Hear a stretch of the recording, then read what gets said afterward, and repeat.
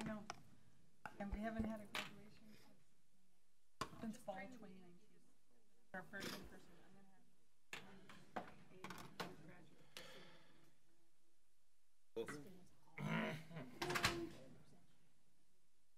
Oh.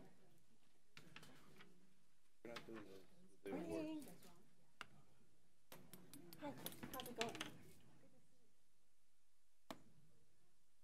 Yeah. Get there. Good. Good morning, Good morning, Erin. Lynn. How are you? Good, good.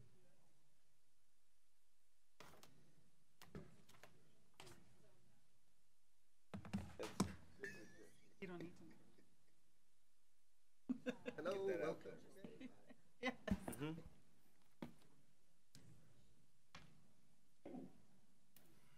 Got him a, a, a, a padded, uh, thing to stand on. Mark. So he could be cush. You know, you're standing all day.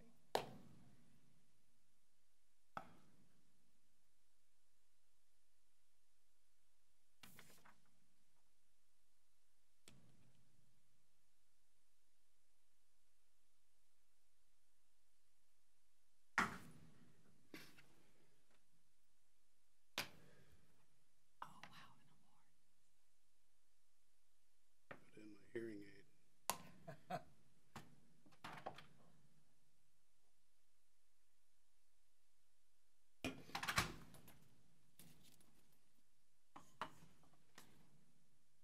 All right, good morning, everybody.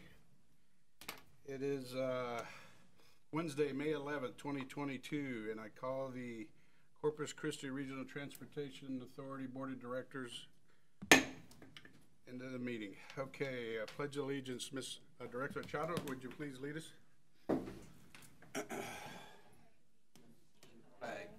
United States of America, and to the republic for which it stands, one nation, under God, indivisible, with liberty and justice for all. Thank you, Director Charo. All right, uh, please call the roll. Dan Leyendecker. Here. Here. Gabby Canales. Present. Beatrice Charo. Here. Here. Mayor Munoz. Here. Here. Phillips Robarte. Matt Woolbright. I'm here virtually. Ana Jimenez. Hi, Anna. Okay, uh, please let the record show, uh, Anna, uh, Vice Chair Ana Jimenez is, uh, And Mr. Chair, we have a quorum. thank you, ma'am. All right, uh, safety briefing. Mr. Mer- Rendon.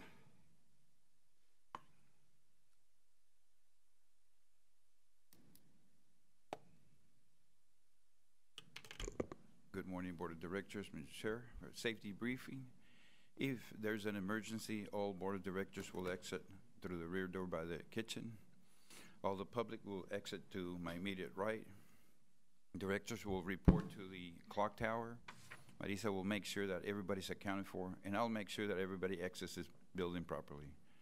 During the emergency, please do not return back to the building. And if we have to shelter in place, we'll shelter in the west side stairwell. Thank you. Thank you, Mr. Rendon. You said, do we have any conflict of interest affidavit? Thank you, ma'am.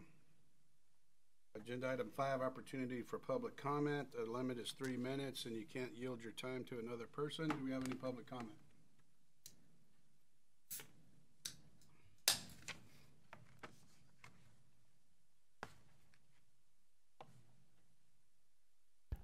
We do have three signed up in person. The first one signed up is Beth Owens um, from Port A. Pardon me? Can we do it together? Okay, That's fine. uh, and Chris Collins. Get a minute and a half each. Depends who takes up three minutes. We could take up three minutes. What was your at name, what was your name, sir? My name is Chris Collins. Chris Collins, thank you. I'm also from Port Aransas. Okay, Yeah, and, yep, sorry, I'm We Beth just- Owens. yeah. Ms. Okay. Ms. Yeah, Owens we and just- and we Chris, just so signed y'all up to y'all have the speak. floor, yeah. Okay, Right. we just signed up to speak. Um, I know there's gonna be uh, a vote amongst the board on the ninety-five Express Port Aransas route.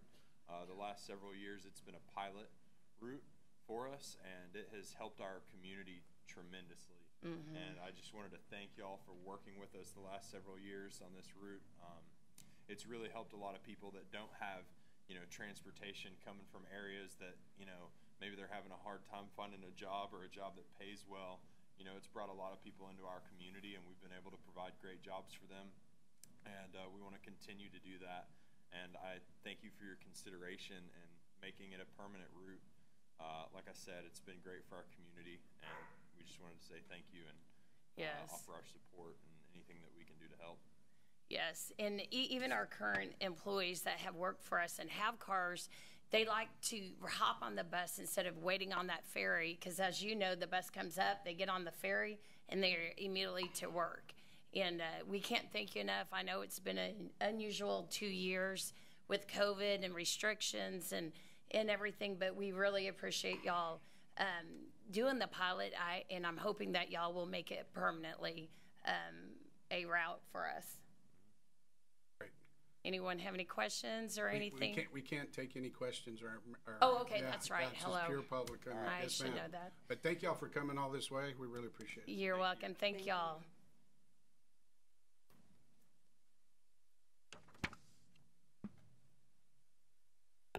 Next up, we have Angelo Kukuza with TWU of America.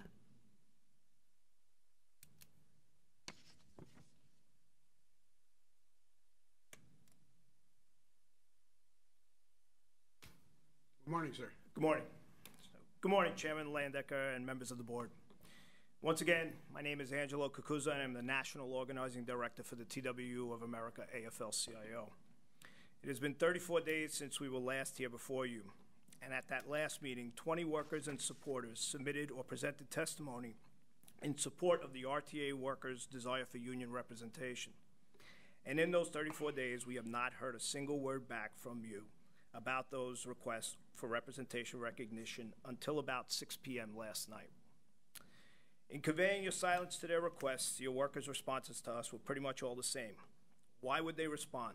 They don't care about us. It's unfortunate that they would feel this way about all of you, but there is no sugarcoating the fact that you really don't listen to them. Just like when they go to HR to voice a concern and find nothing but empty desks in the office during their lunch or breaks. It's pretty discouraging. With all this said, we are here once again to ask that you sit with your workers who wish to organize, create some sort of meet and confer scenario, which includes right to work provisions and agree to some basic worker rights, such as a discipline appeal process that doesn't end with if you don't like our decision, you can hire an attorney to fight it, a true worker management safety committee, a union bulletin board, a committee to build better schedules and mandatory overtime rules, break room access to workers for dues authorization sign up, and a more effective way of notifying workers of any policy changes. All of this would be in everyone's best interest here at RTA. Simple asks like these that would begin with you recognizing your workers' desire to be res- represented by TWU can help pave the way to a better working environment and help build morale and improve worker retention rates here at RTA that are currently somewhat alarming. Before I conclude, I want to touch on something that I brought forward last month, and it is your silence that has caused TWU to take this action. In mid-April, TWU sent a letter of opposition to the Federal Transit Administration seeking to block your request for federal grant funding approved at the April board meeting. It is unfortunate that we were forced into this decision, but these federal taxpayer grant requests now come with caveats related to labor-friendly mandates currently not existent at RTA. As has been related to all of us by senior leadership of the current federal administration, no work, worker justice, no money. I continue to hold out hope that we can reach a point where we can retract that which we filed and replace it with a new letter of support for even greater funding. But we are nowhere near that given this- your continued silence to your workers' needs and concerns. Thank you, sir.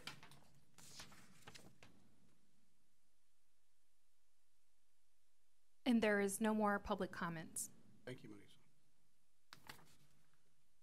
All right, going on to agenda item number six, uh, discussion and possible action to approve the Board of Directors meeting minutes April sixth, twenty twenty-two. Oh, if I could just say something real quick.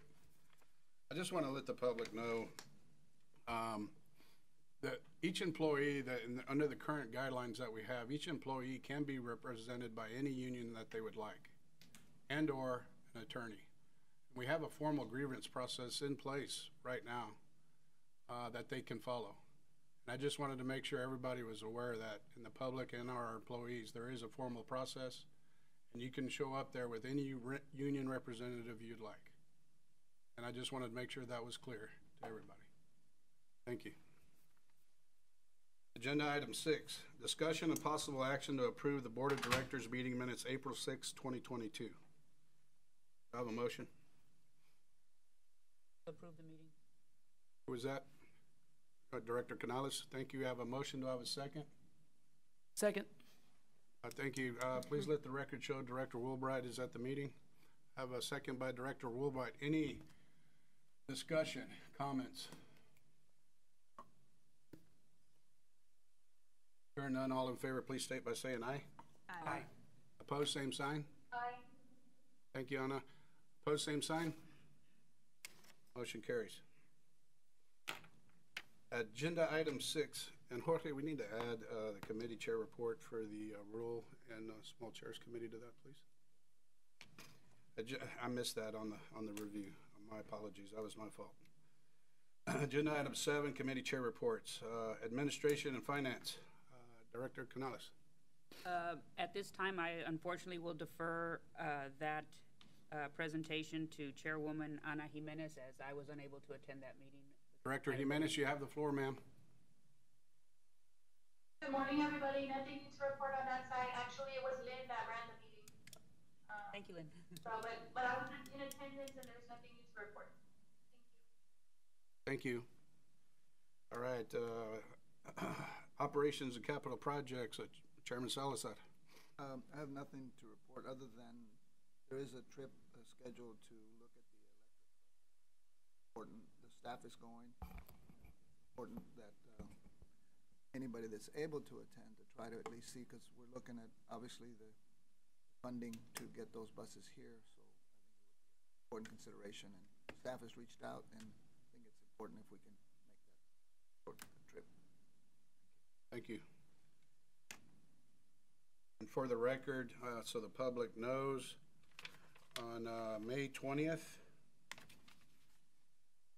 May 20th here, uh, do we have a time yet? For the, Sorry? For the Rural and Small Committees meeting, May 20th? we, The time been set? Mike, can you give me some details on the twentieth? Uh, It's uh, 12 noon. 12 noon? Yes, sir.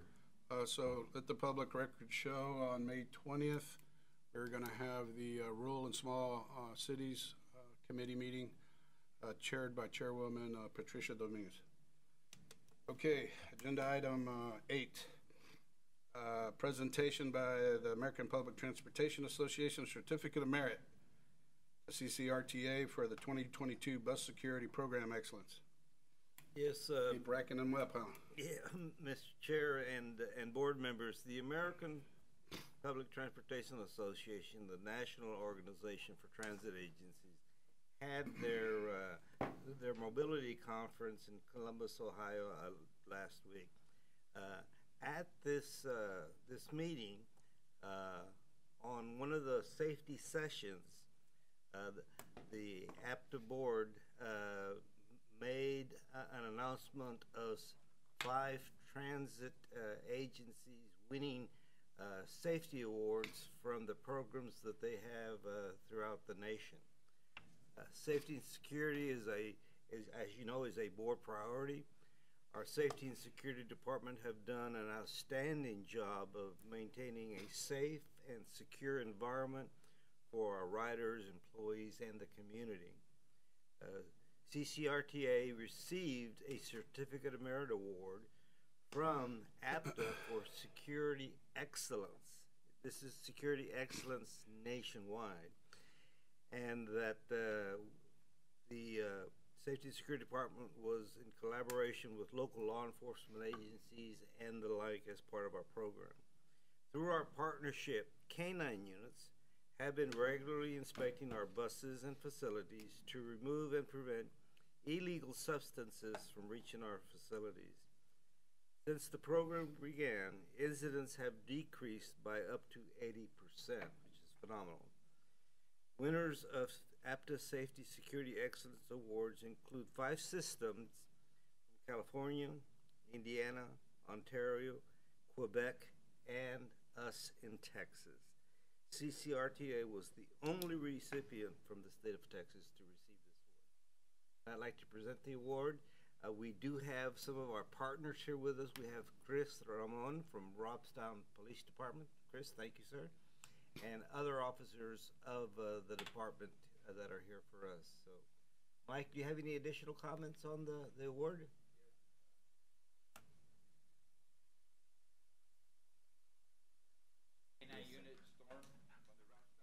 Oh.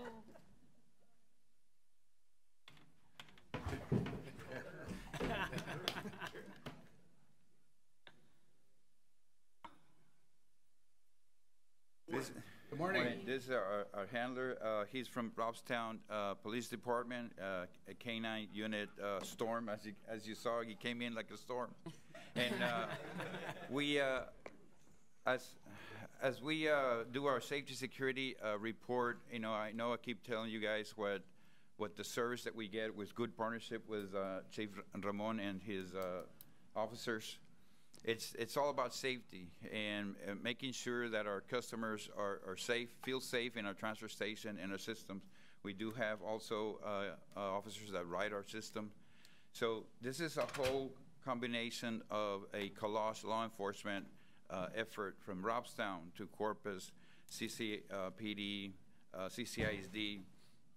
It's all a team effort, like Mr. Jeremy says, one team, one dream and is to keep our uh, community, our staff, and our customers safe. Chief, would you want to come and say something?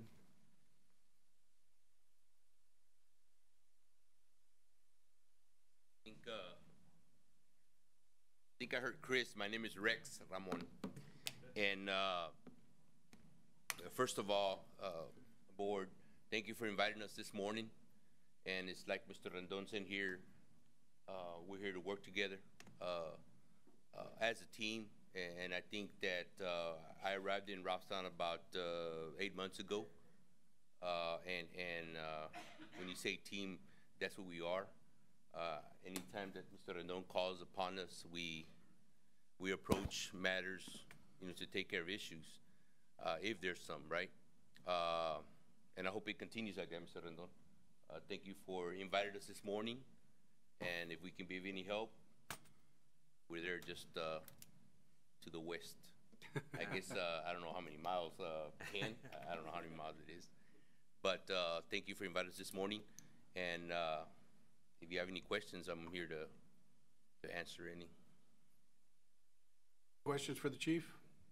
Mike, we would like to come down and, and present the uh, certificate to you and the, and the chief, and really appreciate this program. It was the only canine program nationally at APTA that was recognized for the great coordination that is going on. Thank you, Mike. Good job. Thank you all, guys. I'm pleased to present to you a Safety Excellence Award from APTA.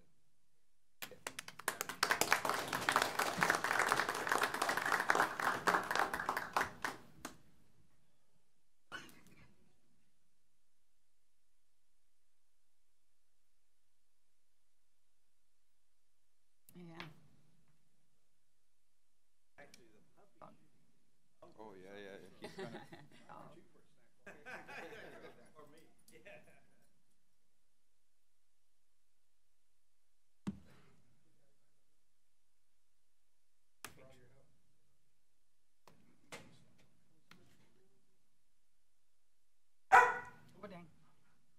He's so cute.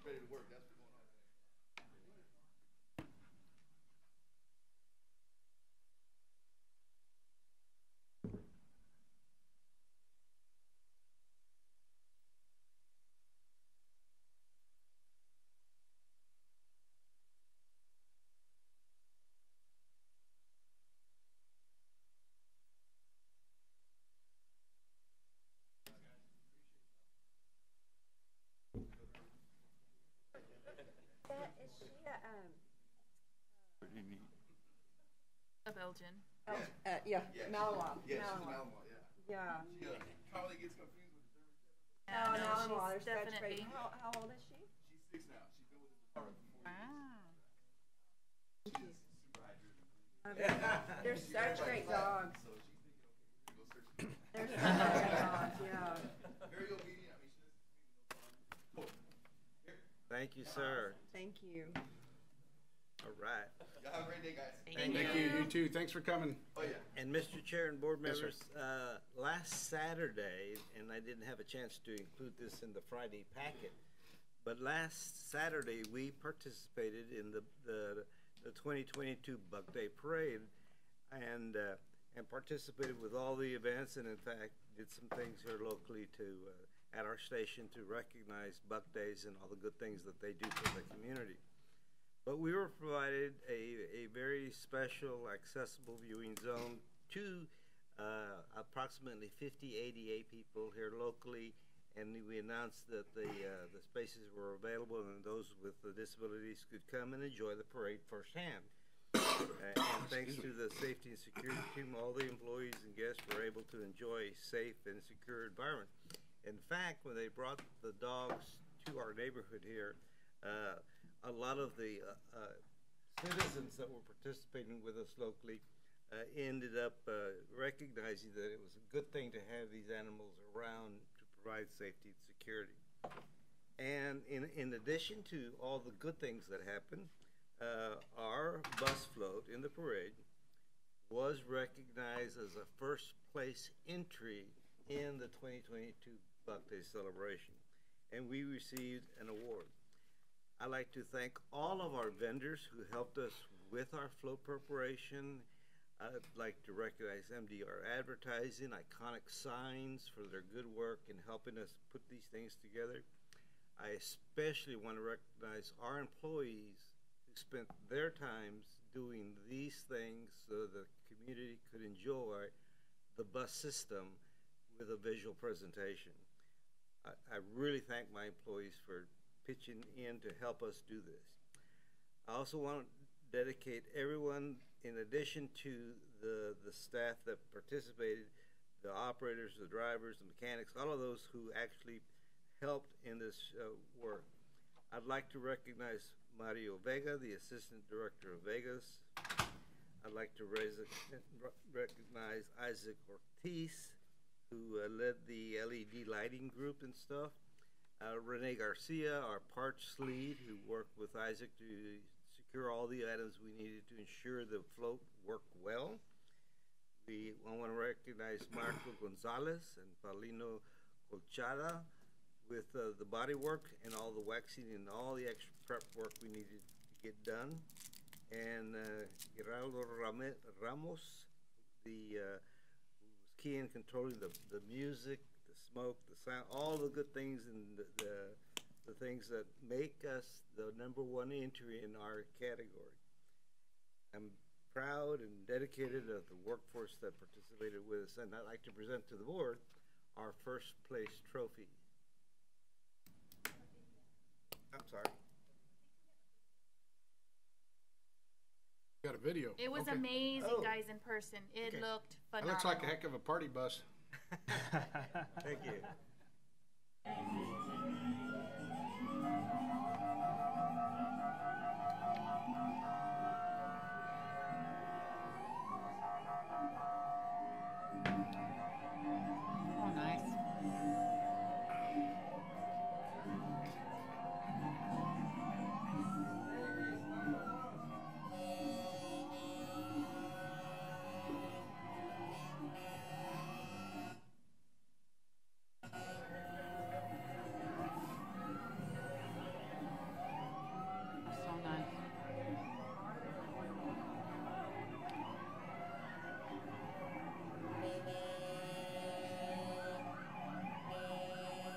Smoke and everything. Yeah, it was really awesome.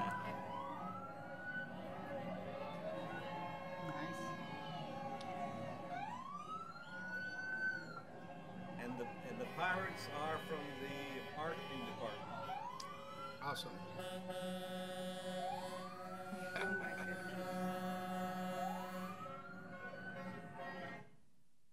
It was awesome. Excellent. You really outdid yourself, Rita. Fantastic. And I'd like to present to you, Mr. Chair, the, uh, trophy.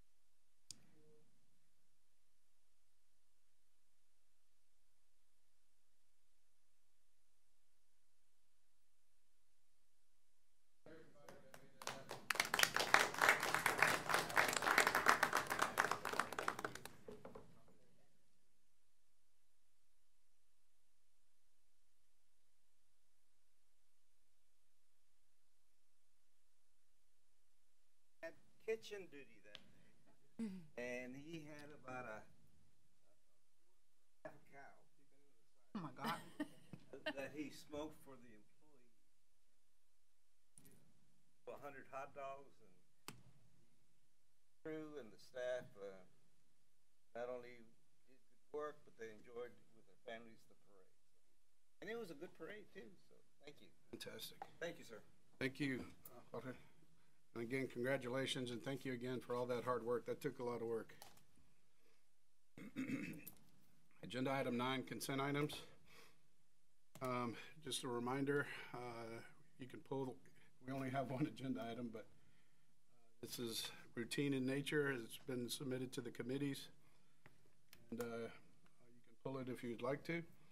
If not, I'll entertain a motion for agenda item nine A, action to award multiple contracts for bus part supply. Aaron? And, and we're gonna ask that this item be pulled. We have a couple of outstanding items that we need to work through. We'll ask that this item Tabled? be tabled, yes. All right, never mind. But the, the item on the, the pilot route ninety-three, ninety-five, you've heard the people from Robson who have benefited from that service and ask that that item move forward.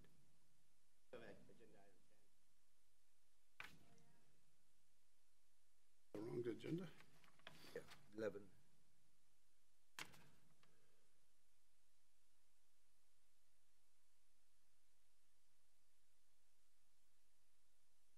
All right, do I have a motion to table, uh, agenda item nine A, action to award multiple contracts for bus parts supplier system, air conditioning, brake system, body chassis, cooling system, electrical glass suspension, glass suspension, wheelchair ramp, and transmission parts to reschedule the May Board of Directors meeting for May fourth, to May eleventh, twenty twenty-two.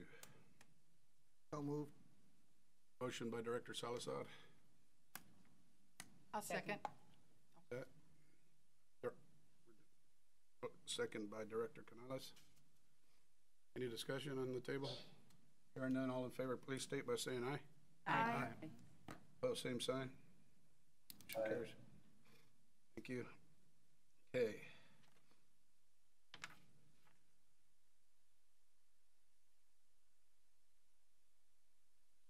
Are Port Aransas folks still in the crowd? Yeah, n- no, no, we need to move to ten. I, I jumped ahead, so I'm sorry. Item ten is next. Uh, hold here just a second. All right, Are our Port Aransas people still in the crowd? Or not. Okay, all right, I was gonna move it up on the agenda if they were waiting on us. All right, agenda item ten, update on the RCAT committee activities. Thank you. Good morning, everyone. Sharon Morning. Montes, Managing Director of Capital Programs and Customer Services. Um, basically, I'll be brief. I know we have a long agenda.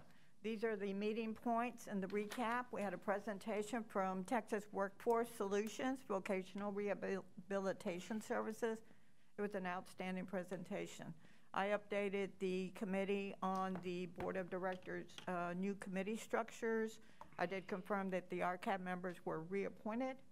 I informed them that Philip Ramirez provided an update on the Del Mar College bus stops and that the board voted to support a resolution for the low-no emission grant and the grant for buses and bus facilities. Provided the B-Line service performance, the um, standards are being met regarding denials and miles between road calls, and they are closer to meeting the standard for the passengers for, per hour. Things are still um, more or less rectifying themselves since COVID. And we had about 2,765 wheelchair boardings. Our next meeting is Thursday, May 19th, 2022 at noon in this room. Thank you, sir. That Thank you, concludes- Ms. Montes. Thank you Yes, very sir. much. Uh, Agenda item 11, we have a presentation and public hearing for public feedback, Title VI, Service Equity Analysis Findings and Service Recommendations for Pilot Routes 93 and 95. The reason why we're doing it, right, Derek? Yes, sir. And good morning, everyone. The priority for this is public image and transparency. And for some background, the Federal Transit Administration defines a pilot service as a temporary demonstration project. And if a temporary service addition or change lasts longer than 12 months, the FTA considers the service to be permanent and the grantee must conduct a Title VI service equity analysis. The public hearing is required due to major service changes, and that's per the FTA circular and by our public input policy. So, so for some background, the pilot Route 93 Flex began in August of 2019. It replaced the Route 63 Wave, and it serves the Texas A&M University Corpus Christi and branches out to the Flower Bluff area for the Walmart and HEB. The pilot Route 95 Port Aransas Express began in May of 2019, and it serves Port Aransas, Ingleside, and the Aransas Pass areas and connects them with Corpus Christi.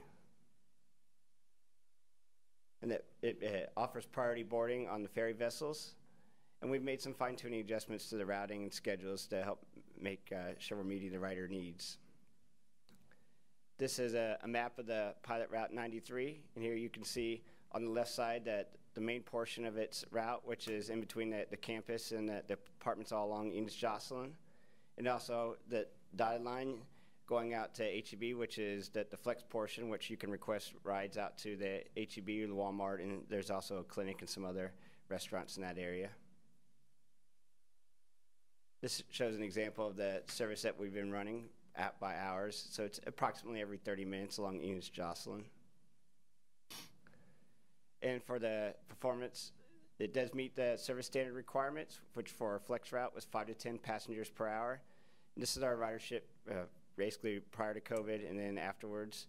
You can see that it did decrease to 6.2 passengers per hour in 2021, but so that was an increase from 2020, and we're expecting to continue to see an increase as the university goes into more on-campus learning.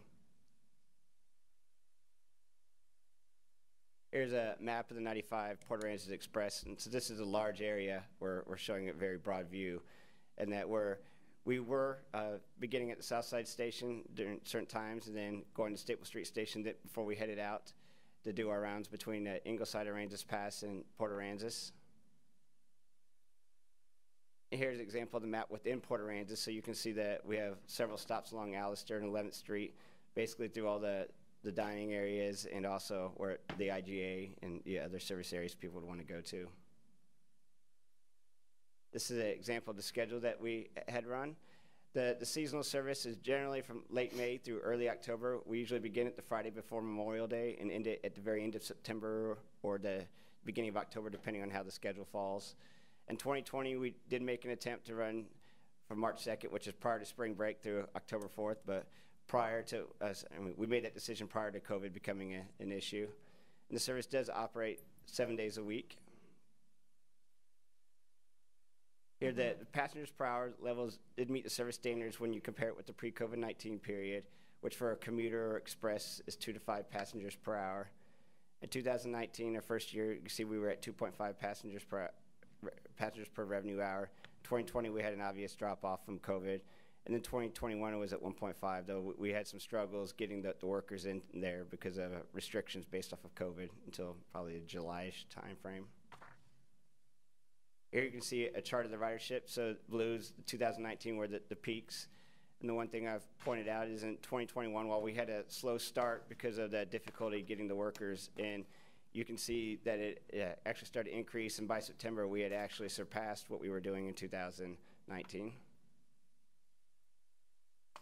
And this is a comparison between the 93, 95, and all of the other small fixed routes that use the cutaway style vehicles. So you can see that prior to, to COVID, the 93 Flex is one of our highest performing routes for the, the cutaways at 12.1 passengers per hour.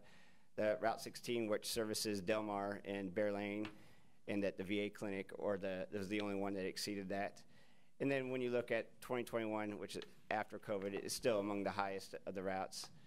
And then when you look at the the 95, and uh, it had a this is just for a weekday schedule, so that's why the numbers are different from earlier. But at 2.8 passengers per hour, and you can see that puts it above the, the 54, which serves Gregory, just below the 65, which services the island and goes out to Port Aransas.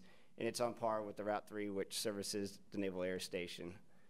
And then when you look at uh, post-COVID, you know, current, it's at 1.5, which still exceeds the other services there in Port Aransas, including it, it exceeds the, the 65, and it's still, you know, comparable to the, the Route 3, while it's still slightly below. This is just an example of the things that we look at through the service equity analysis. Here, we're, we're, we're looking at, um, you know, how it affects minority groups. So the darker the shading, the, the, the more participation we're bringing in. And with that, Route 95, this is just another example. This is looking at economic diversity. So you can see that we're including some other areas. In the end, for the pilot Route 93, no disparate impacts or disproportionate burdens were ident identified with the permanent addition of this service as multiple underlying services, including the routes 3, 4, 5, 29, 37, and 60 are available with the pilot Route 93 service area, and we have connections to those services. With the pilot Route 95, no disparate impacts or disproportionate burdens were identified with the permanent addition of this service as it removes existing service gaps in the San Patricio County area. And for a summary, more service options are available to the public, which results in no disparate impacts or disproportionate burdens on the basis of race, color, or national origin.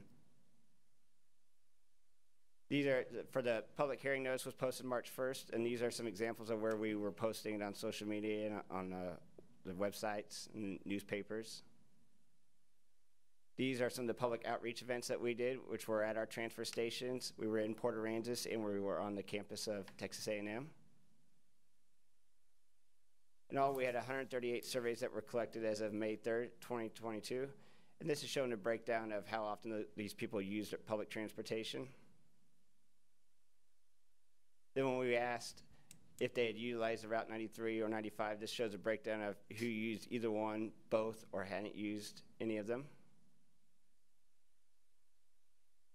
And when we asked if you would like to see the Route 93 Flex become a permanent route, we had 100% of the respondents say yes.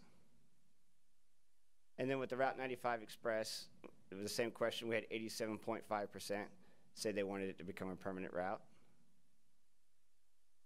And then when asked, do you feel that accessible, flexible transportation for students and community members to Texas A&M University Corpus Christi in essential nearby destinations is important to the area, 100% said yes. And then when asked, do you feel that affordable direct transportation for essential workers, tourists, and guests to and from Port Aransas is important to the area, we had 100% say yes. And with that, staff requests that the board of directors approve making the pilot routes 93 and 95 permanent. And I'll take any questions that you may have. Hey, Derek, any questions for Derek? I just have a comment, Mr. Chair. I think it's great that we had real buy-in today from Chris and Beth, and it really says a lot about their direction for that community. So I'm support and approve, or first motion, I'm losing my thought here. I'll, I'll give you a chance in a second. Real quick. Yes, sir. um, I Sorry for a apologize. little I take a very quick call. the ridership numbers compared to an average route. All right, let me go back over here.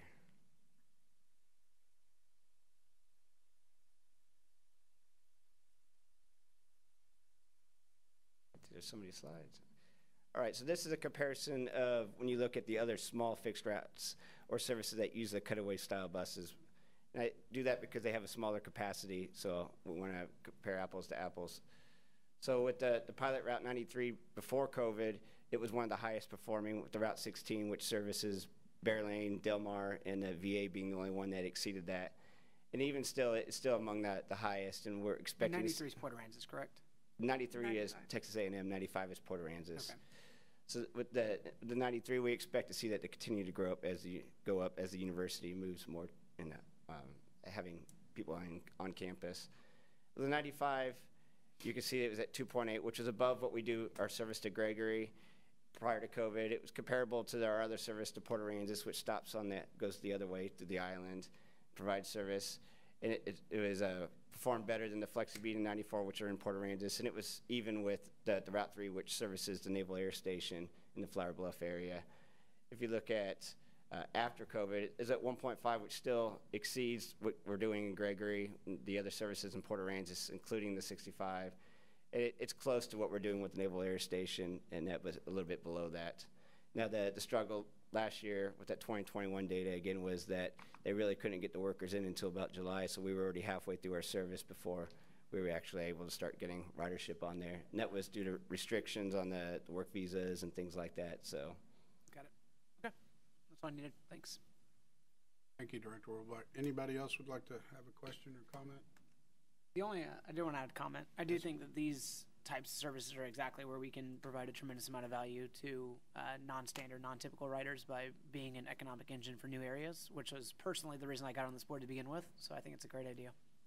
uh, add one other comment. Even though I'm talking about the, the workers there the, with the, the visas, we did have several riders at, towards the middle of the summer with, with the University of Texas Marine Life Center that started riding the route, and they were actually disappointed when it ended at the end. They wanted to become a full year-round service, so they didn't have to drive their car all the way to Port Aransas.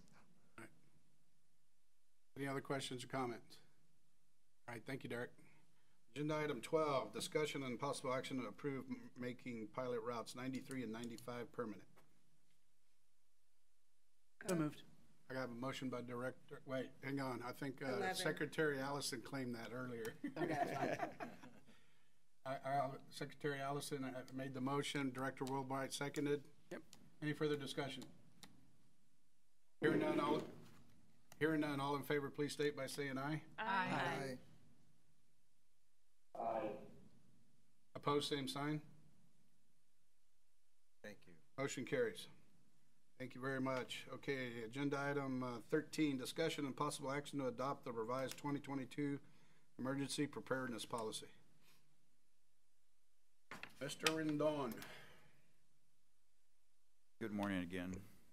Glad you're not wearing that lanyard today. I have it in my back pocket, but I'll, I'll respect you, sir, this morning. Uh, so CCRTA, uh, board priority is safety security. A little background on the, uh, policy. Uh, During, during and after a emergency situation, the CCRTA has the responsibility to provide a service to the citizens of Corpus Christi and all of our small city service areas, uh, including Nueces County unincorporated area like Petronila.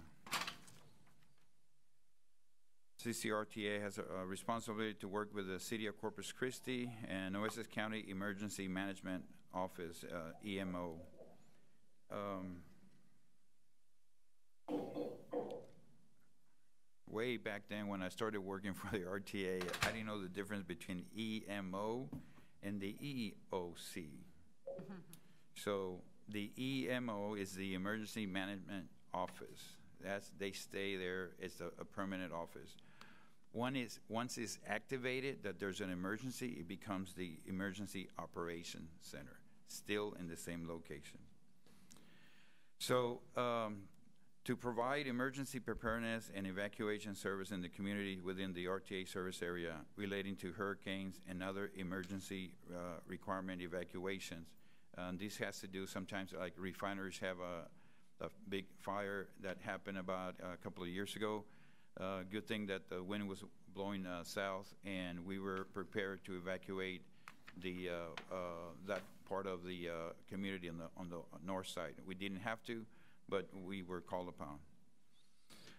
Also, uh, when there's sus- sustained winds, uh, when it gets up to 35 miles per hour or more, or if there's any flooding, RTA will suspend uh, services immediately for safety reasons. Is that citywide? Yes. How about flooding? Is it just the localized? No, in the areas where there's flooding, you know, because our, our um, buses are, are low, there's not a, a lot of areas that we can go because there's, um, once it's considered there's flooding, the, the whole system is, um, is stopped. Okay, thank you, sir. So the application, the policy applies to all CCRTA employees, including part-time and temporary employees. Emergency event is an emergency that refers to natural or man-made uh, event uh, such as hurricanes, tornadoes, storm, flooding, or any disaster weather uh, condition, non-weather related emergencies. The uh, essential positions are the employees who are required to be available uh, to work. Bless you. Bless you. The essential uh, employee is uh, a person who volunteers to be part of, of the team. Uh, he's considered also a, a, a essential position once he says he wants to volunteer during the emergencies.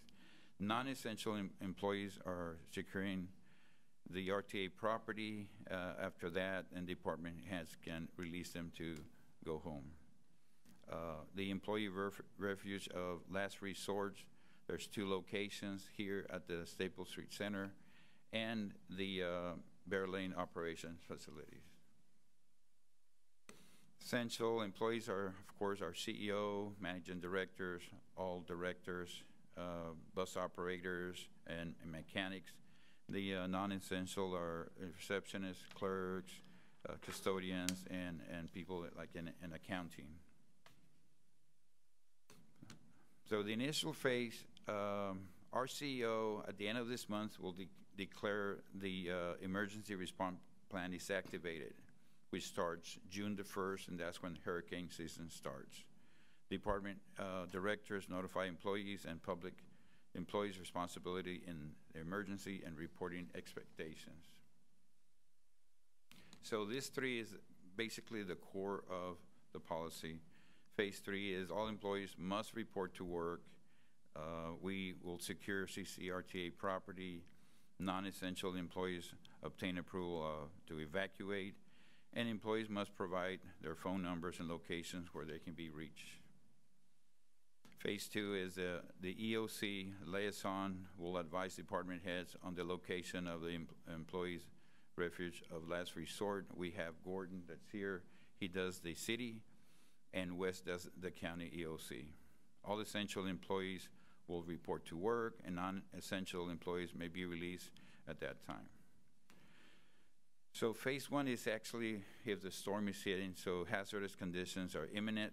The EOC staff will update the RTA on the uh, the location of the storm, and uh, we will move or do some type of service if we have to. Uh, five years ago, almost five years ago, with Harvey, uh, they the sheriff department requested us to move the prisoners from the annex to the main county jail. Um, the firefighters uh, asked to be uh, transported to the dome at Del Mar uh, Westside campus.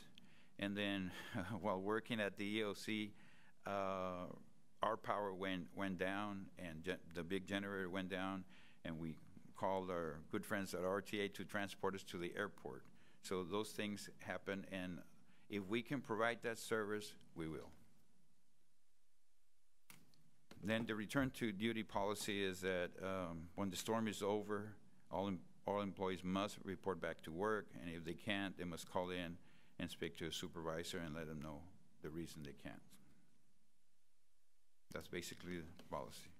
So staff requests the board of directors approve and revise the uh, 2022 emergency preparedness policy. Thank you, Mr. Rendon. Any questions for Mr. Rendon? Thank you. Thank you, Mr. Rendon. Okay, we're on agenda item thirteen. Discussion possible action. Do I have a motion? So Entertain- moved. I'll entertain a motion, please. So move. Director Charo made, uh, the motion. Second, Ana Second by Direct, uh, Vice Chair Jimenez. Further discussion? Hearing none, all in favor, please state by saying aye. Aye. Opposed, same sign. Motion carries. Uh, Marisa, I saw uh, uh, Judge Gonzalez, Director Gonzalez on remotely, but I don't know if he's still on remotely or not. Yes, he's there. Is he there? Okay, could you note in the record that he attended remotely? Agenda item fourteen, discuss on possible action to award a contract to Abtech Tech- Technologies for server and storage replacement. Mr. Saldana, All right, good morning. good morning, sir. This aligns with the board priority of innovation. A little background, um, our servers have been in place since 2016. And the typical life for these assets are three to five years, so obviously we're pushing year number six on this. Uh, obviously, our servicers, servers uh, create uh, a lot function for us here. They help operate our applications. They house all our user information as well as our telephone system.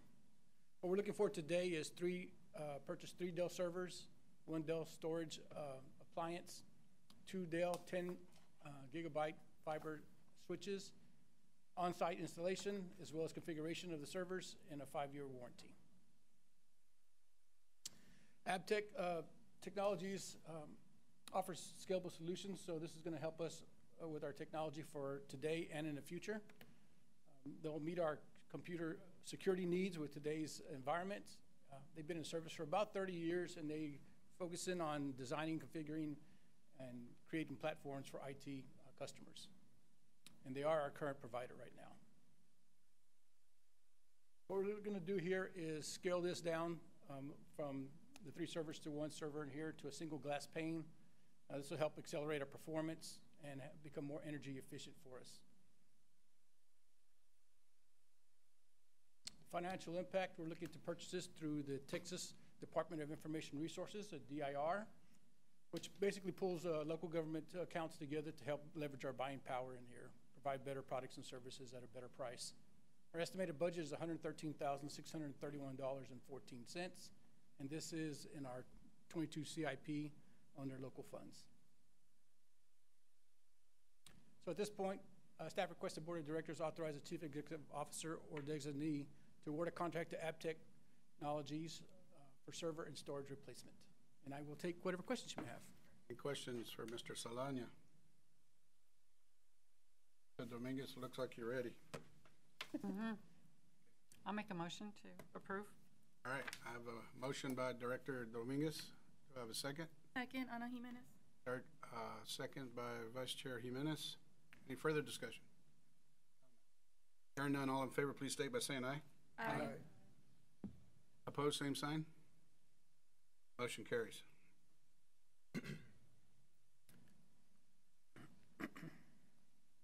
Uh, let's see, agenda item fifteen, discussion and possible action to award a contract to Computer Solutions for Cisco Network Switches Replacement Number One, or Phase One, excuse me. All right, so- so this award uh, aligns with board priority of innovation as well. Now, these two work hand in hand together, the servers and the switches. The switches help the servers talk to all the computers in here.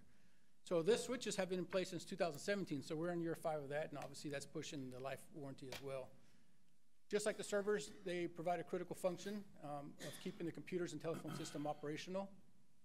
Uh, We are talking, phase one here is for Bear Lane, for our servers, our switches out there to look to replace. At this time, we're replacing, looking to replace seven Cisco 10 gigabyte fiber switches, including the warranty, uh, network modules, and power supplies, as well as remote configuration.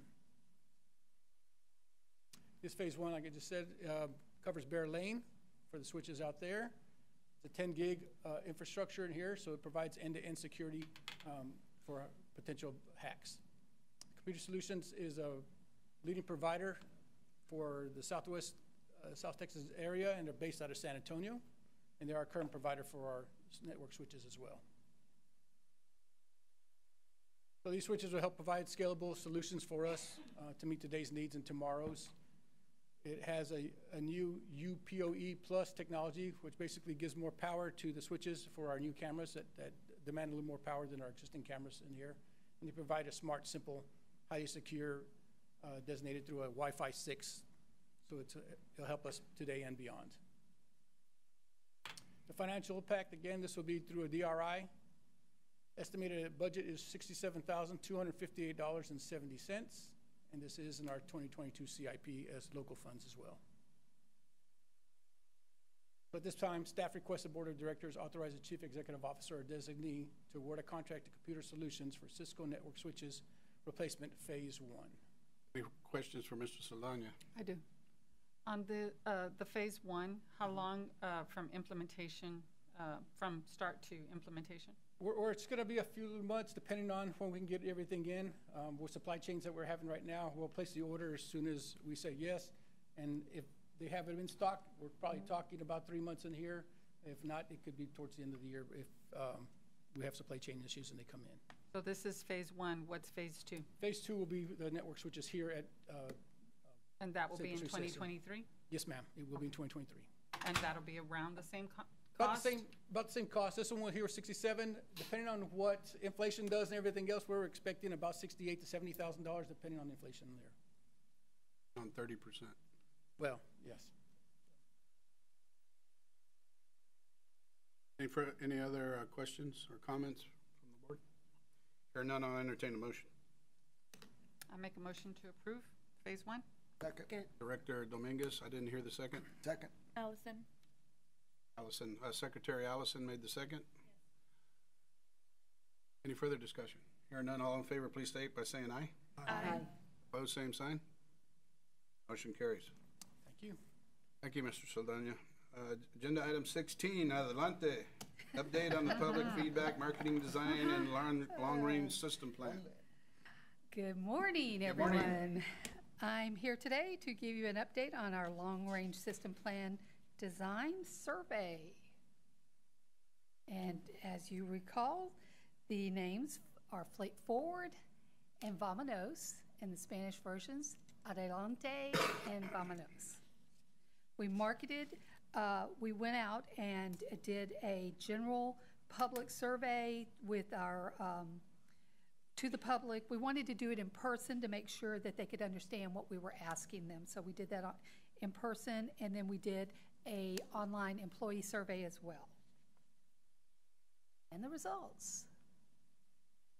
Fleet Forward, 94, Vamonos, 66. So today, staff requests that the Board of Directors approve the Fleet Forward and Adelante brand for the CCRTA Long Ran, Long Range System Plan. Any questions for Rita? How soon will this uh, kick off?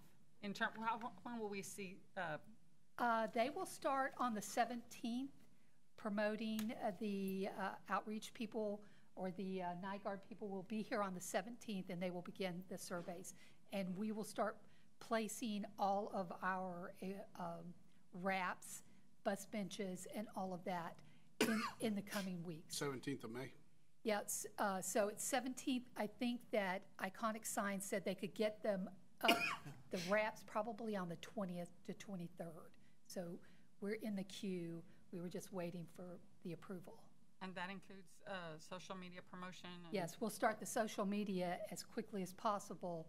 The physical, all the other physical equipment we'll have to do, and we're gonna do a press release and get a media blitz going. So we'll, we'll promote it heavily to make sure that the community understands what it is. I entertain a motion. I'll make a motion. Me. I had a, I had a motion by Vice Chair Jimenez. I have a second by Director Canales. Any further discussion? All in favor, please state by saying aye. Aye. aye. Opposed, same sign. Motion carries. Thank Thank you, Rita. you. Thanks Thank for all you your hard very work on this. I know you are arm wrestling a lot. Okay, agenda item seventeen, presentations. Uh, seventeen A, defined benefit plan actuarial valuation report. Good morning, Robert Saldana, Managing Director of Administration. Remotely, we have um, Laura Stewart and Joseph Myers. Uh, They're going to talk about our defined benefit plan as well as our post-employment benefits um, plan as well. Laura, you have the floor. Thank you very much. Thank you, for the opportunity to present our actuarial valuations to you. A bit of an echo. uh, Maybe Robert, if you, is there, You want me to go ahead and advance? yes. Okay. We will present our actuarial valuation results. I will present the defined benefit results, and Joe will present the Next slide, please. Just an overview of the defined benefit plan. This is a benefit that's eligible to all employees. The benefit that's earned during employment is of service times earnings, so that's the benefit. That's payable at retirement age sixty-two. And while they're working, they have to be employed at least three years in order to be eligible for their benefit. And then after three years, there's a graded schedule of twenty percent per year, so that they're fully vested after seven years. And then once they retire, they can choose from various optional forms of this monthly benefit. Next slide, please. When we're valuing the liabilities of the plan, we look at the participant data, um, the actual employees and retirees, and then we also look at the assumptions that we make um, for future events. You know, when will people retire? How much money will they make while they're working? Um, all of that goes into our valuation. So first we see the participant counts here. Uh, you can see there's a column for 2021 and 2022. Um, the different participant categories include actives who are actively employed, um, RTA employees, uh, deferred vested, which means they've terminated employment but they have not yet begun receiving benefits. And finally, retired and beneficiaries. So these are the, the participants who are actually receiving that monthly benefit. So if you look at the 2022 column, you see the active count is 217 employees. That terminated group is 189, and retired is 210 for a total of 616. So overall, um, we did see some retirements um, during the year, but then of course new hires would come in and replace those retirements. Next slide, please. Here we show an overview of the actuarial valuation results. Um, I mentioned that we use data and assumptions to estimate the liability, and then we compare that to the asset value of the plan. Here you can see the last four years. Uh, the actuarial value of assets is in orange. So this is the, the smooth average value of the assets. And for 2022, that value is 47.3 million. But the, the liability of the plan that's been earned currently for current benefits is around 50 million.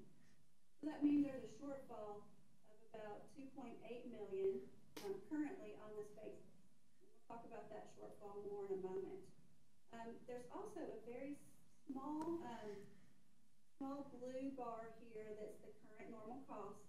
That normal cost is the present value of the benefits that are earned during the year. So you can think of the, the top of the dark blue as being the current liability, and then the light blue is what would be added to it during the year.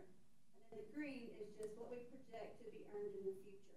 Can see over time the, the asset value, that orange bar is going up. Um, the unfunded, that blue section is going down as that as the plan is becoming better funded. And at the bottom you can see the funding percentage is 94% this year. So again, good asset returns, contributions being made to the plan have led to a good funded status of 94% for 2022. Next slide, please. Here you see the numerical values from the, the graph previously. I won't uh, say those again. I'm just pointing out the actuarially determined contribution. That means we take uh, the value of the benefits earned during the year and look at the unfunded liability, and that's 1.3 million is our uh, determined contribution. Next slide, please.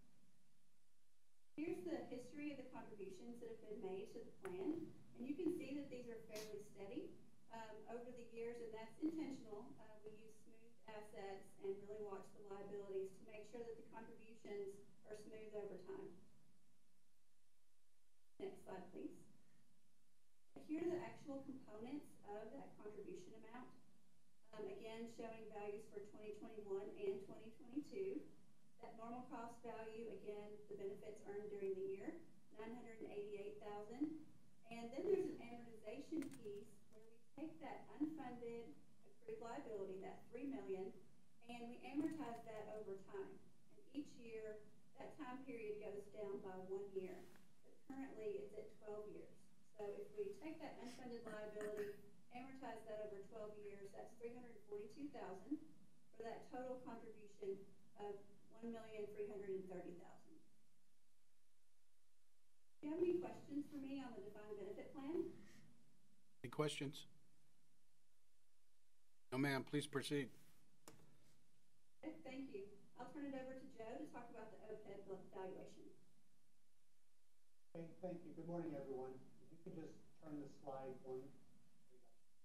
So the OPEB plan is really, we're talking about the retiree medical, dental, and vision benefits. In order to, um, it's available for all employees, but in order to meet the eligibility requirements, you either have to be age 62 or retiring at age 55 with 10 years of service. The key aspect on this plan that's different from the pension plan is that benefits are only provided to retirees and spouses until age 65, which you'll see on, on a further slide that this liability is much lower than the pension plan liability. Uh, as I mentioned, the benefits include medical, dental, and vision coverages. And in order to get the coverage, retirees and spouses are required to pay monthly contributions to receive benefits.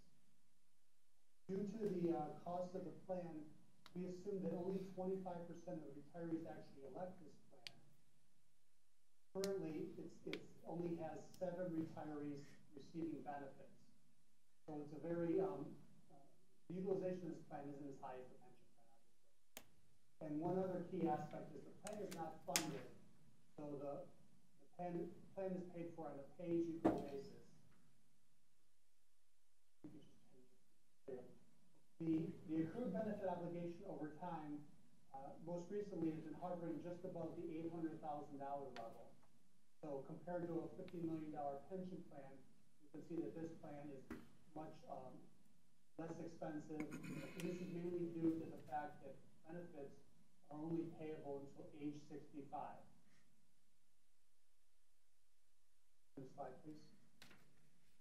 And the most current valuation uh, we did was this year, which projected results to the end of the year. The liability is just over 834,000. It is not pre-funded.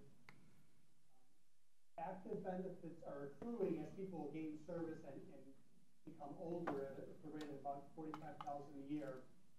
And the plan is expected to pay about 150,000 in benefit payments.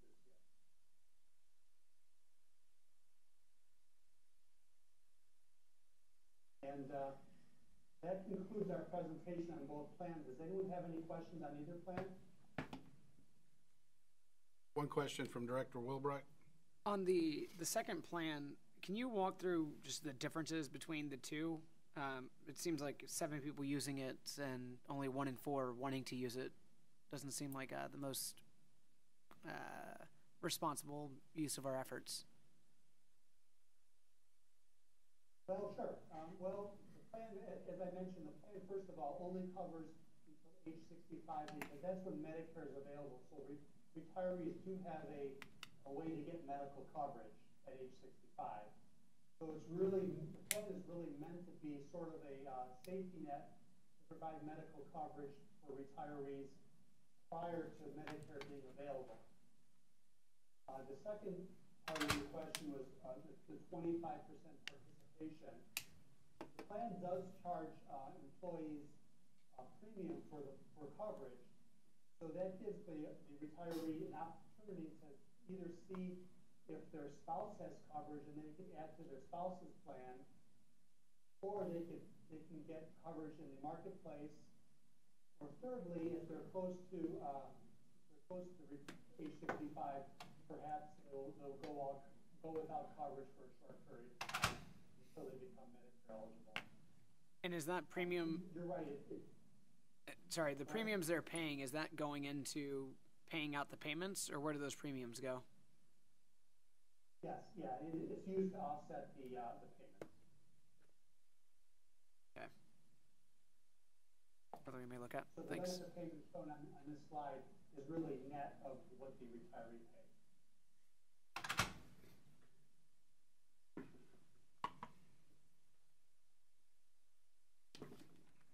Any more questions? Further questions? No, sir. Thank you. Thank you. Thank you. Agenda item seventeen C, March twenty twenty-two financial report. All right, all right. Good morning You haven't left yet, Robert. I'm wearing comfortable shoes today, so we're good. So our- this is our 2022 March financial report. This aligns with board priority of public image and transparency. Some of the highlights for the month, a bus advertisement is about 108 uh, percent of baseline. Investment income is about 286%. That's just with the rising in in interest rates. We're obviously taking advantage of that there, and we're starting to ladder out some of our investments until the end of the year. We're expecting another interest rate hike, so we don't want to ladder out too too far right now. Departmental expenses are about 97% of baseline as well. So just for our income statement here, total revenues are projected to come in at um, 3.9 million, almost 4 million dollars. And I say projected because later this week we will get our sales tax, which is about 3.1 and change, uh, and that's the majority of that operating revenue of 3.9 $3,894,000. Our total expenses come in at $3.7 million, so about $270,000 positive cash flow for this month. So here's our revenues. Uh, we want most of your revenues obviously to be 100% or better on the far right-hand column. Uh, passenger service is still lagging behind about 82% at $85,000. Sales tax again is a projected number that we'll get later on this week at $3.1 million. Uh, we finally received our preventive maintenance for this year, so we're starting to close some of that revenue gap in there at $623,000 we pulled down this month for preventive maintenance. Um, so we have a total of 300, $3,988,075. So where'd the money go on the expense side? Purchase transportation, seven hundred eleven thousand, almost seven hundred twelve thousand at twenty-two percent. Uh, Miscellaneous at sixty-six thousand, eight hundred fifty-four dollars at two percent. Our other COVID supplies, uh, twenty-two thousand, six hundred and uh, fifty-four dollars at one percent, and the other supplies are basically to keep the buses on the street at two hundred thirty-seven thousand, almost two hundred thirty-eight thousand at seven percent. Salaries and wages, one point one, almost one point two million dollars at thirty-seven percent. Benefits a little shy of half million dollars at sixteen percent. Services, three hundred ninety-five thousand, seven hundred twenty-seven dollars at twelve percent. Utilities, a little shy of sixty-four thousand at two percent, and insurance, a little over forty-four thousand at one percent. So our expenses, uh, conversely, we want this right-hand column to be below hundred percent. Salaries and wages, at, uh, almost one point two million dollars at hundred and one percent. Benefits corresponding with that, a little over, a little under five hundred thousand at one point one percent. And uh, miscellaneous supplies, uh, materials are at uh, hundred and seven percent at uh, two hundred sixty thousand dollars. The rest are below. We come out to three point two million dollars on a budget of three point three, so about hundred thousand dollars savings on expenses for the month. Our year-to-date number, bus advertisement about hundred and fifteen percent, investment income about hundred and operating expenses are a little under uh, ninety percent of baseline. Total revenues, nine point seven million dollars on a budget of eleven million dollars. Uh, most of that is waiting for American Rescue Plan money to come through, since they approved our uh, preventive maintenance money, fifty-three oh seven portion of it here. We're still waiting for the ARP money to be approved from the federal government. And that's that five point six million dollars that we were bouncing our budget. Once that comes through, hopefully in the next month or so, uh, we will backtrack some of those monies to the beginning of the year, and we'll, we'll balance out our, our financial plan here. Expenses come in at uh, $10.3 million on a budget of 11.5, so we have uh, $557,000 negative cash flow for the year-to-date. And we expect that usually for the first quarter. And again, that's, first quarter is, is low as far as um, sales tax coming in here, as well as waiting for the rescue, American Rescue Plan money. So our revenue by category in here, um, our total revenues of $9,770,000 on a budget of eleven million Again, the bulk of that comes from sales tax at eight point five million dollars and federal grant assistance at, uh, six hundred twenty-three thousand dollars. Year-to-date, where does the money go? Purchase transportation, a little over two million at twenty-two percent. Miscellaneous, at one percent at hundred and thirty-one thousand dollars. Other, a little under seven hundred thousand dollars at eight percent. Salaries and wages, thirty-eight percent at almost three point four million dollars. Benefits, a little shy of one point five million dollars at sixteen percent. Services, a little over a million dollars at eleven percent. Utilities, a little over one hundred and fifty-six thousand at two percent, and insurance, a little over one hundred and thirty-two thousand dollars at two percent. Expenses, uh, we're at hundred and sixty-eight thousand, seventy-nine dollars on a budget of nine point nine million dollars. So about a million dollar savings on expenses year-to-date per budget. Our fare recovery ratio, um, we're just at two point four five percent, and you kind of just a little history of, over the last few years where we've been. Back to that, Robert. Yes, I know sir. you were excluding, go back one more. mhm. You're excluding depreciation, street improvement, sub-recipient grant agreements. Yes, sir. Now go forward. Does that uh, recovery ratio uh, include those other two and, but- but not depreciation? Uh, the fare recovery ratio is not any depreciation on no, sir. Okay, but the other two are? Uh, street improvement plan, no, because we're talking only operational expenses. Those aren't operational expenses on there. How about debt? Uh, debt is non-operational as well, too. That's another expense. Thank you. Yes, sir. Just our history of thirteen-month average of our sales tax, as you see. And then, uh, February sales tax, that's the only sales tax we have in the books. Again, we'll get our March a little later this month. In February twenty twenty-one, we received, uh, two point three three million dollars. This year, we received two point seven, about three hundred ninety-two thousand dollar increase, month over month from last year. Uh, we budgeted two point nine nine, almost three million dollars, received two point seven, so it's about two hundred seventy-three thousand dollars less than what we budgeted. Robert, regarding that, you know, I think everybody realizes we're getting ready to hit an inflationary period and possibly recession. Sure. Meaning less sales tax. Is there a plan in place? Are you starting to create a plan?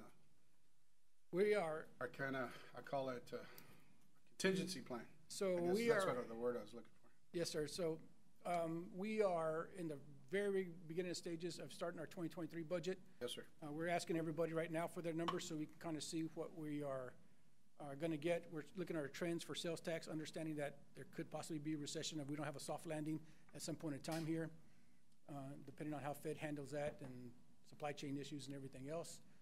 Um, From there, uh, we do have a, a little backup of about four million dollars or so, four and a half million dollars of American Rescue Plan monies left over from the seventeen point six. We're having about seven and a half million dollars of American Rescue Plan that we are using to fund our shelter program. We're using five point six more million dollars to balance this year's budget. So we leave about four to five million dollars left over, and some of that will help balance next year's budget, because with the recession and having a deficit this year, we're gonna need something to balance our budget next, this coming year here. And hopefully, over the next few years, we're bringing that gap of expenses and revenues down a little bit, so at some point in time, when American Rescue Plan ends, the money, we're, they were closing that gap up a little bit. Robert, So- why don't you also mention the, the restriction on reserves we have for operations? Yeah, so we try to balance our budget just through normal operations and, and keeping a balanced budget. We also keep a three-month reserve for operating revenues in case sales tax goes down or something like that happens in there. So we have three months in, in, in, as a reserve. Our chapter four fifty-one says we only need two months reserve, but we're more conservative here and we keep three months just in case.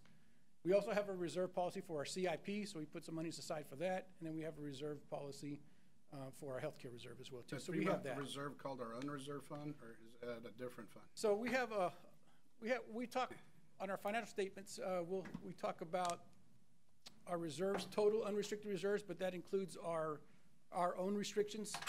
And then we have unrestricted reserves, which is gonna be about twenty-five million dollars. It'll fluctuate depending on how we pay bills and at the end of the month Basically, our around. savings account in terms. Yeah, that, that's not obligated to anything, any, any self-imposed reserves, including our pension that we put in, that we reserve as well. Yes, sir. That one point three million dollars that we're looking at putting Great, so year. going into this thing, the next year or eighteen months or however long it takes us to dip down and come back out, we're, we're in pretty good financial shape. Yes, today to- we're in to good financial this- shape. To weather the storm. Yeah, and of course, in my position, I'm looking three to five years out all the time as well, so, um, we, we have to, we have some work to do in the three to five-year plan. Right now, we're in good shape. I'm, I'm just looking at the next two years. Yes, sir. I conservatively say three to five. I look a little beyond that, but three to five years is a short plan for me. Thank you. Or for us. Any other questions? Yes. Um, you said you had, uh, four point five million of the American Rescue, um, money that you're, that, ma'am. that's, that you're gonna reserve for twenty twenty-three, or? So that's, that's money from the American Rescue Plan that, that's not tied to anything. We can use it to balance our budget a little bit for operating expenses, or we can use it for additional capital expenses. And that money has no deadline, or do you have a deadline? Um, to- there is gonna be, a- expend that? there is a deadline, but by using it in twenty twenty-three or even twenty twenty-four, we'll still be okay. All right, great. Yes, ma'am. The Director uh, Woolbright. with some of the changes we've seen from the federal government on COVID policies and mandates, uh, do we expect that piece of the budget to start shrinking in months to come, or we should we just pencil in twenty thousand a month going forward? For twenty thousand a month for. Twenty COVID nineteen supplies. Oh, yeah, so with COVID supplies, um, we're not, over the last, I guess, four months or so, we haven't spent that much money on COVID supplies, as it, dwindles down a little bit, so we, you will see that dwindle even more. We're not even gonna use hardly anything for COVID supplies. We still have, the most supplies that we've been using are masks. Um, we still have about, I'm trying to remember off the top of my head, about 170, 160,000 masks still in the inventory.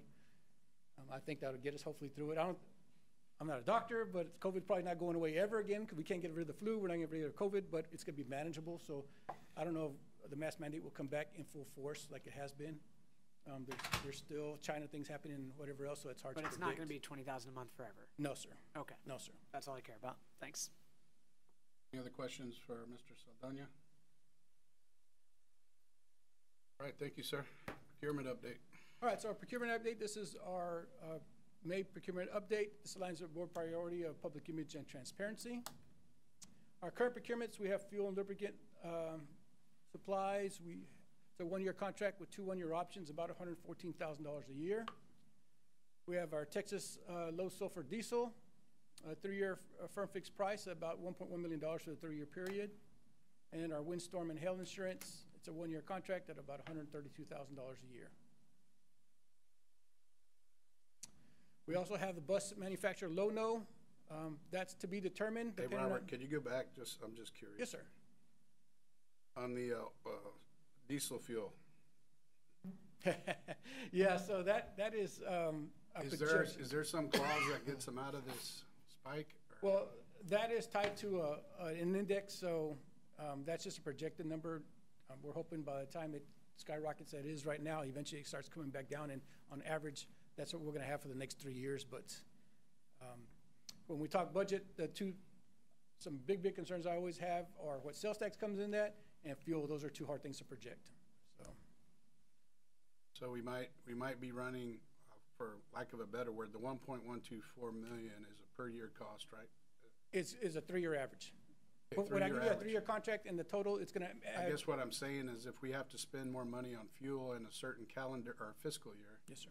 We have the money, or that contract works in some way that we can bring money from the future contract back or? Yes, sir. Back to it? And, and if it stays high for the three-year period, somewhere in year two, we'd probably come back to the board and ask to, to increase that contract at some point in To time. add to the contract? Yes, sir. Thank you. So the bus manufacturer, they'll know right now that really, there's no dollar value in there right now because we're waiting to see, once we submit it and we get monies in here, then we'll come back to the board most likely with a budget amendment, and then we'll put a dollar figure in there depending on how much we get from the federal government. We are expecting to have the first of the four um, RFPs coming back for the repurposing of the Kleberg Bank. It's a two-year period, they're six-month RFPs. Uh, The first one should be coming back sometime this month. If there is a proposal in there, we'll come back to the board with a proposal and we'll discuss it at that point in time. If not, we'll continue to issue out the RFP for up to three more times beyond this one. Our management information system in here, a five-year service plan, and we're talking about a million, a little over a million dollars in here. We're expecting to come back to the board in August, um, committee in August and then September board. The total for the total procurements right now is about $2.4 million. The three-month outlook, we have general legal services. I'll come back to later this month. We're actually looking for a three-year contract. We're starting to um, ease up on optional years per FTA, so we're looking at a three-year contract, about $210,000 for three years. The CEO signature authority, any, all this is less than $50,000. Real-time passenger information, our Transloc, it's our bus locator app that we have, about $45,600. Our elevator services, um, about $10,490 a, a year. And then our month-to-month, we have marina space out there at $6,100. So if any of y'all own a boat, you're more than welcome to park it there for the meantime, it's empty. Have a diesel truck. Yes, sir. Any questions?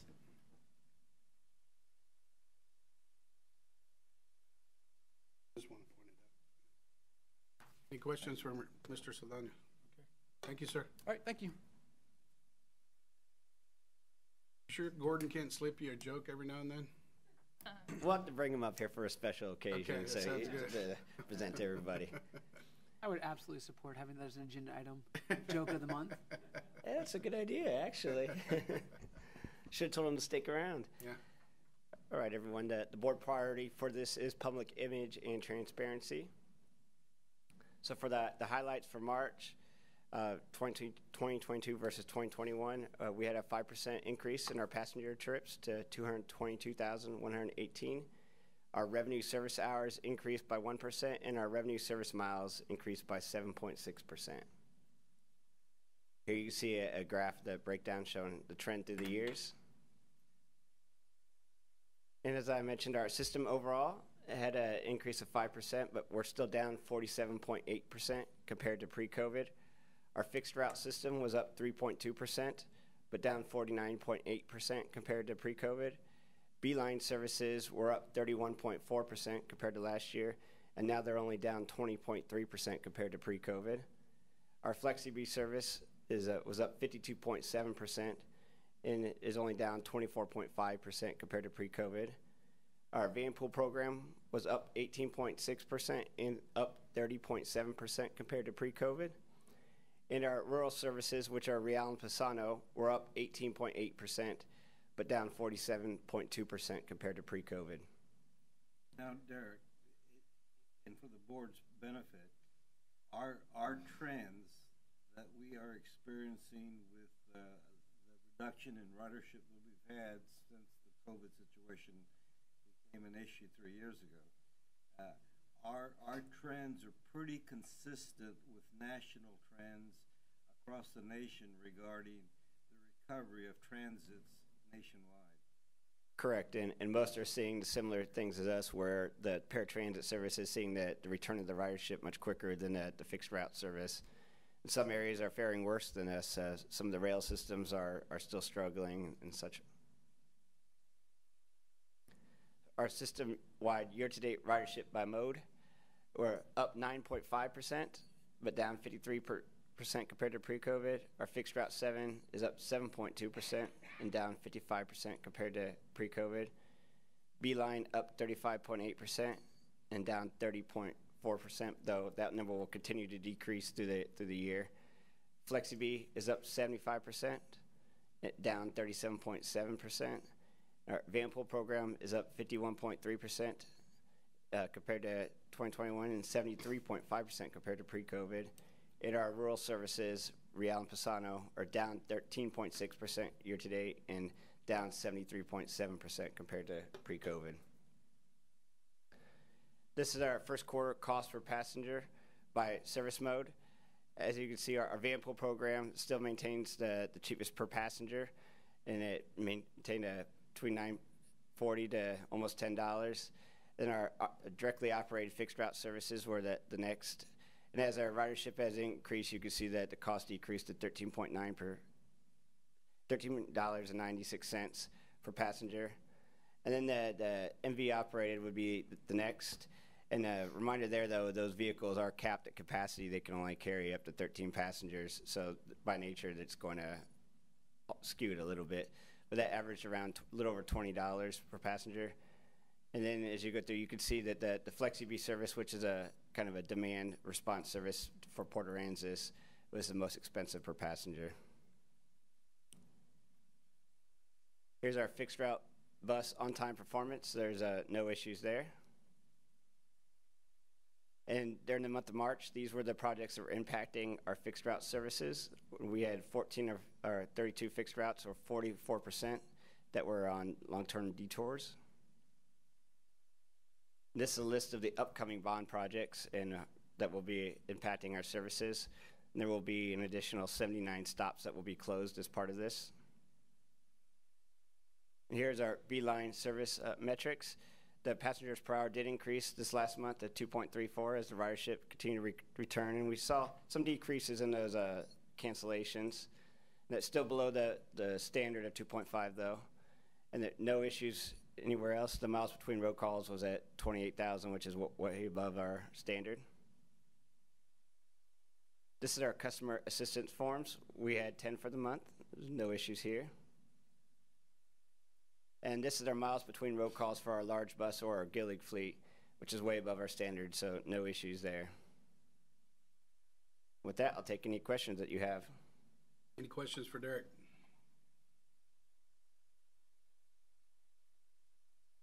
Sounds good, Derek. Good job. Thank you, sir. Agenda item 18, CEO report. Yes, sir. Marissa?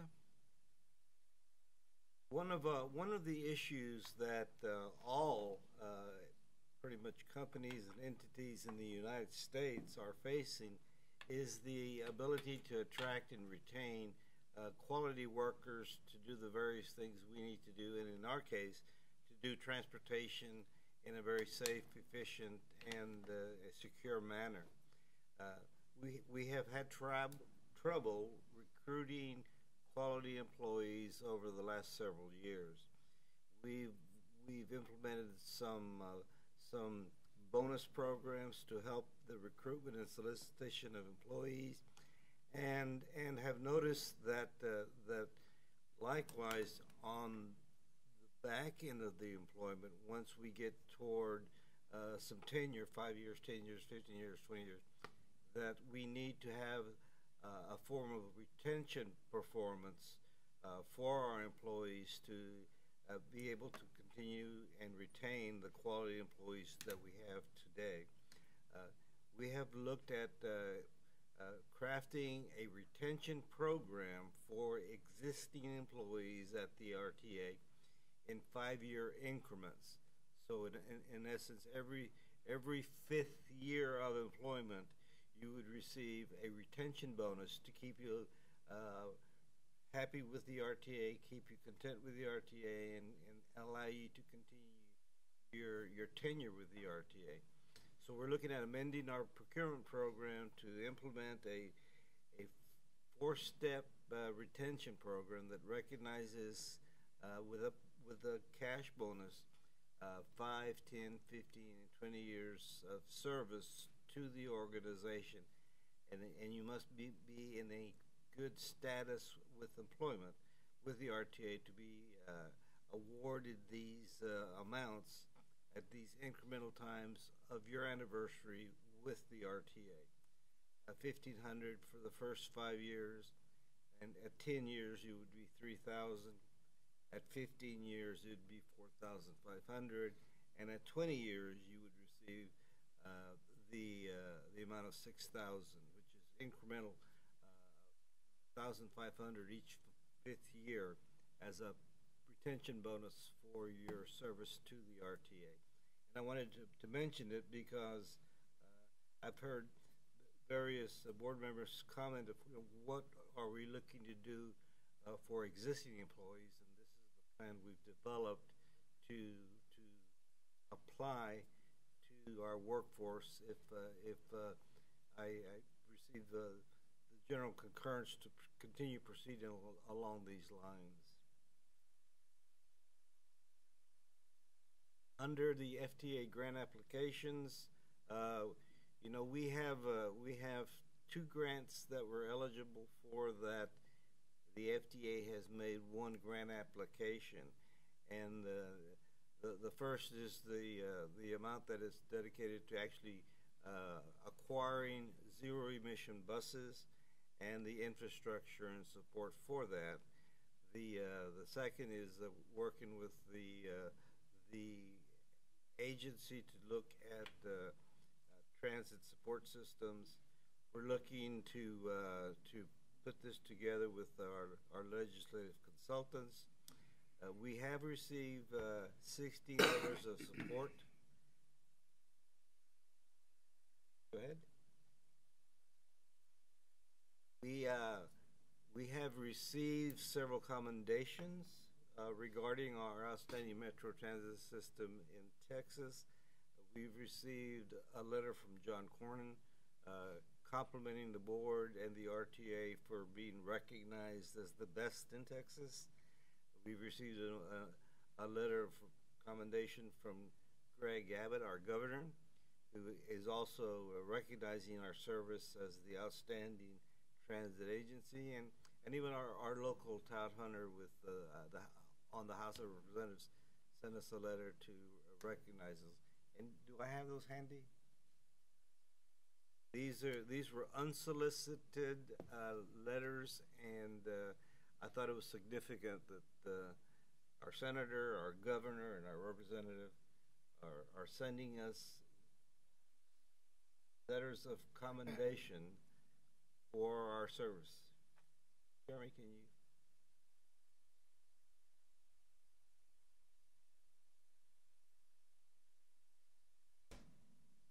Not often an agency gets uh, certificates from uh, the elected leaders of the nation, uh, our state and nation, to recognize our service. Bless you. Bless you.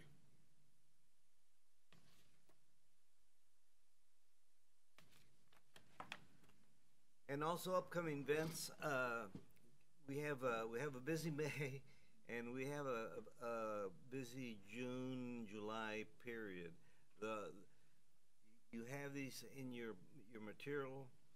I want to recognize that on June 3rd, which is the next to the last item, we are having what our chair would like to call the strategic meeting of the RTA board and that we, we captured it as a retreat, but it's a, it's a special meeting that we're going to be reviewing all the strategic items for the upcoming year and into the future. And we would like to have all the, the board members possibly uh, make it the uh, attendance for probably all of the morning and part of the early afternoon. So June 3rd. Here? Was that? Here? It'd be here at the RTA in the, the main conference room, which is right across from uh, my offices in the hallway. I, be on the lookout for the agenda and the board items, and uh, we'll be doing that. Jorge, I have a question, uh, on that one-time bonus. Uh, can you go back to that slide? Sure. Back. Ma'am. Um, that is for all employees or uh, exempt, non-exempt, like what? That is all employees for years of service. Okay. And they have to be good years. You can't, you can't be on probation or having a history of problems. These are, you gotta have a good record and you have to hit employment at five years, whether you're exempt or non-exempt.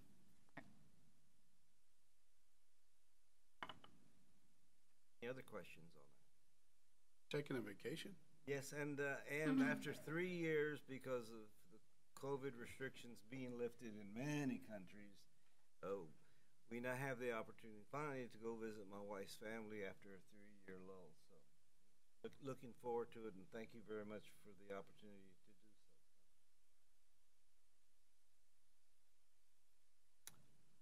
do so. Any other questions for Jorge? All right. Thank you. Board Chair report, as customary, I'll start on the left-hand side. Mr. Director Munoz, do you have anything to say? Uh, I just want to thank uh, Derek and the other, the team and all the hard work they've done on the Low-No uh, application. I know that it's pretty in- extensive work that y'all have to do, so just want to thank you all for all your hard work on that. And Rita, also on the uh, the marketing uh, thing, I think we're going to see a lot of really positive uh, response from the community. So just want to thank you and, and the rest of the staff, and uh, you know, just thank you for all the hard work and keep it up. Thank you so much. Director Salazar. Let's go get that money. Good Director work, everyone. Dominguez. Good work, everyone. Just uh, phenomenal on all the awards and, you know, you, you keep doing what you're doing.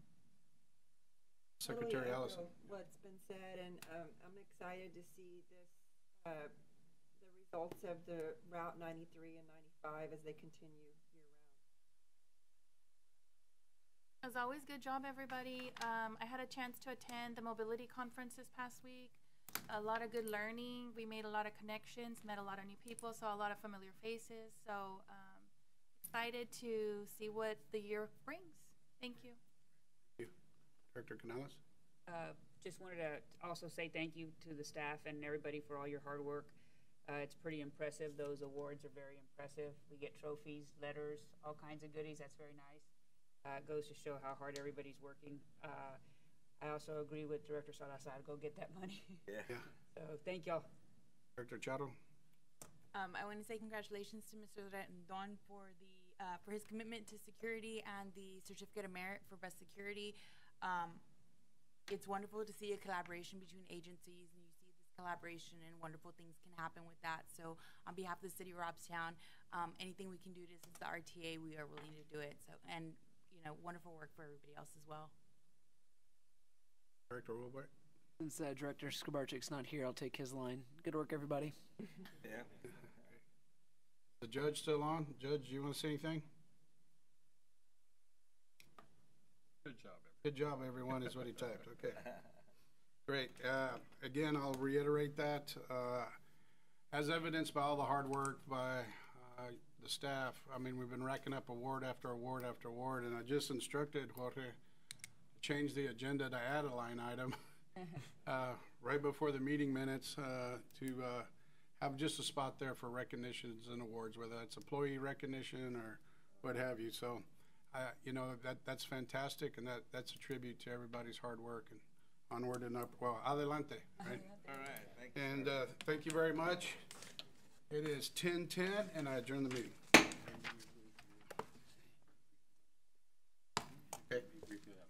Sir.